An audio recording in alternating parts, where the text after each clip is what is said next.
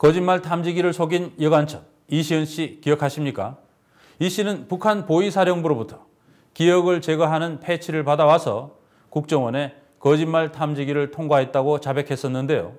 2심까지 자백을 유지하다가 3심에 가서 국정원의 강요로 허위 자백을 했다고 고백했습니다.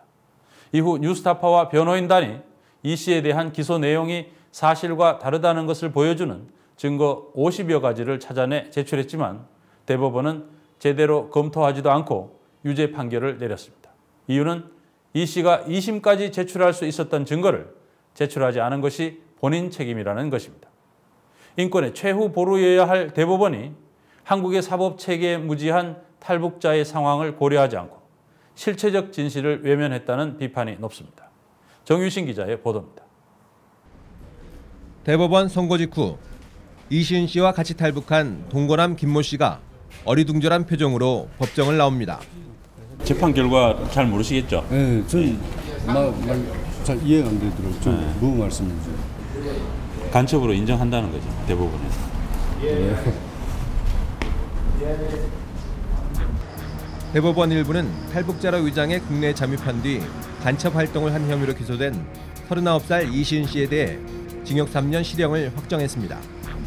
1, 2심과 마찬가지로 간첩이라고 본 것입니다. 뒤늦게 판결 의미를 한김 씨는 믿을 수 없다며 한동안 법정 앞을 떠나지 못했습니다. 이 씨와 북에서 같이 생활하다가 남한으로 억지로 데려온 것이 자신이기 때문입니다. 내가 막 때리면서 데려오네요. 내가 중국에 와서까지도 중국에서 바로 집에 가겠다고 다시 집으로 가겠으니까 좀 보내달라고 하는 거. 야 이게 한국을 가는 게 장난 아니니까 제발 날좀 어? 속 태우지 마 그냥 가자. 가지고 내가 데려왔거든요. 이 씨가 간첩이란 근거는 6개월간 국정원 합신센터 독방에서 진술했다는 자백이 유일합니다. 탈북자 출신 반북 활동과 동향을 파악하라는 보위사령부 지령을 받고 위장 탈북한 것을 실토했다는 것입니다. 이씨 변호인단은 2심 판결 뒤부터 허위 자백으로 신빙성이 없다고 주장했지만 대법원은 받아들이지 않았습니다. 대법원은 별다른 근거를 밝히지 않았지만 이 씨가 국정원에서 변호인 조력과 진술 거부권 고지를 받은 것으로 보인다고 판단했습니다. 또 국선 변호인이 맡았던 2심까지 자백을 유지하며 선처를 호소했다는 것입니다. 자백 내용이 너무나 황당하고 또 자백을 하는 과정에서 국정원 중앙합동 신문센터의 그 위법한 수사 방식 이런 부분을 굉장히 많이 문제를 삼았습니다. 대법원에서 6개월 가량의 심리를 했기 때문에 파기를 기대했는데 올해 초 뉴스타파에 보낸 편지에서 이 씨는 국정원의 반복되는 강요로 거짓 자백했다고 전했습니다. 수사 당시 이 씨의 진술 내용만 살펴봐도 상식을 넘어서는 황당한 진술이 많습니다. 이 약을 쓰면 안기부에서 거짓말 탐지기 검사를 통과할 수 있을 것이요. 검은색은 목 뒤에 붙이고 흰색은 배꼽에 붙이면 돼요. 이것은 어떤 기계도 다 통과하게 만듭니다. 보위부장이 준 거짓말 탐지기 회피용 약물을 몸에 붙이고 국정원 심리검사를 통과했다는 만화 같은 진술이 대표적입니다.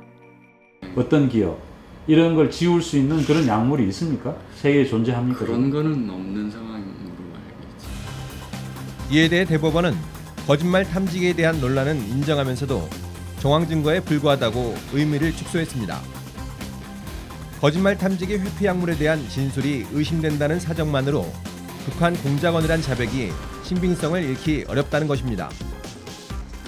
그러나 간첩 혐의 핵심인 고위부장의 탈북 지령을 받은 자리에서 거짓말 탐지기 회피 약물을 받았다는 것이 이 씨의 자백 내용입니다. 회피 약물이 거짓이라면 고위부장과 지령의 실체도 의심할 수밖에 없습니다.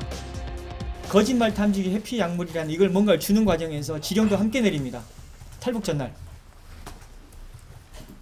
그러면은 하나가 좀 약간 이상하면은 그 같은 날에 있었던 같은 시점에 있었던 다른 자백도 이상한 거 아닙니까? 더구나 이 씨가 자백했다는 보위부장의 지령엔 같이 탈북한 김 씨를 남한의 고정 간첩에 연계시키는 것도 있었습니다. 같이 온 사람은 간첩이 아니고 걔만 간첩이 될 수 어떻게 있냐고요. 아 이게 이상하잖아요. 이게 딱 북한법이 북한법 똑같아 이거. 생사람을 뒤에 있다고 막 뒤집어 씌워가지고 막 지옥으로 보내고. 북한 보위부장이 이 씨를 난파하면서 직접 말했다는 남한의 탈북자 정착금 인상 정부도 뉴스타파 취재 결과 이 씨가 입국 전에 다른 탈북자들에게 전해들은 말로 확인됐습니다. 역시 그 부반장 어머니가 말한 걸로 기억은 하고 있습니다. 정확합니다. 그 제가 그 어머니한테 전화까지 했거든요. 황당하고 모순투성이의 공소 사실에도 대법원은 2심까지 일관된 자백을 했다며 실형을 내렸습니다. 국정원과 검찰이 자백만을 근거로 간첩 혐의 기소를 남발하는 배경입니다. 국정원의 회유나 강압이 이루어지는 일들이 다반사이고 그래서 자백이 한번 이제 이루어지게 되면 사실 그 다음부터는요 왜 앞에서 자백해놓고 이제 와서 거부하냐 이제 이런 식으로 국정원이 이제 대하게 되거든요 또 검찰도 마찬가지예요 아니 왜 국정원이 수사할 때 다 자백해놓고 검찰에 와서 부인하냐 이제 그런 심리를 악용하는 거죠 수사기관들이 여기에 검찰은 정작 이 씨에게 유리한 증거는 법정에 제출하지 않은 것으로 드러났습니다. 당시 이 씨가 지령을 받았다는 보위부에 실제 근무했던 탈북자 김모 씨의 진술서로 검찰이 실수로 빠뜨렸다고 보기 어렵습니다. 수많은 조서 중에 딱 그것만 뺐어요. 박대학 이전에 근무했던 사람이 2012년까지 근무를 했다라고 합니다. 그러면은 이모 이 자백 자체에 모순이 있는 거죠. 그냥 2012년까지 근무했던 전임자가 있는데 어떻게 후임자를 2011년 초여름경에 만날 수 있었겠습니까? 무엇보다 대법원은 쉬운 가지가 넘는 새로운 무죄 증거를 제대로 검토하지 않았습니다. 대법원은 구치소에 있는 이 씨가 1, 2심에서 새로운 증거들을 제출하지 않은 책임이 있다는 이유를 들었습니다. 한마디로 제출 기간이 지났고 명백한 무죄 증거도 아니라는 겁니다. 법원은 실체적 진실을 발견해야 되고 또 무고한 사람이 피해를 받지 않도록 보호해줘야 될 가장 근본적인 그런 의무가 있잖아요. 그런 의무에 비춰 봤을 때는 하급심 법원에서 왜 증거를 피고인이 제출하지 않았냐와 상관없이 새로운 증거가 발견됐다면 적극적으로 그 증거를 반영해서 유죄 여부에 대한 판단을 하는 게 어, 법원의 올바른 태도라고 봐야죠. 이 씨의 변호인단은 재심 청구는 물론 헌재의 헌법소원도 제기할 방침입니다. 실형 확정을 들은 이 씨는 눈물로 허위 자백을 후회했다고 변호인은 전했습니다.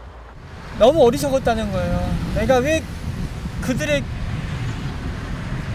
게임에 넘어갔는지 내가 그렇게 내가 그렇게 영, 어리석은 여자는 아닌데 그런 허위 자백을 했는지에 대해서 스스로 한탄을 많이 했습니다. 인권의 최후 보루라는 대법원이 실체적 진실 규명을 외면하고 있다는 비판과 함께 최근 간첩 조작으로 드러난 다른 사건 재판에도 영향을 미치는 게 아니냐는 우려까지 나오고 있습니다. 뉴스타파 정윤준입니다.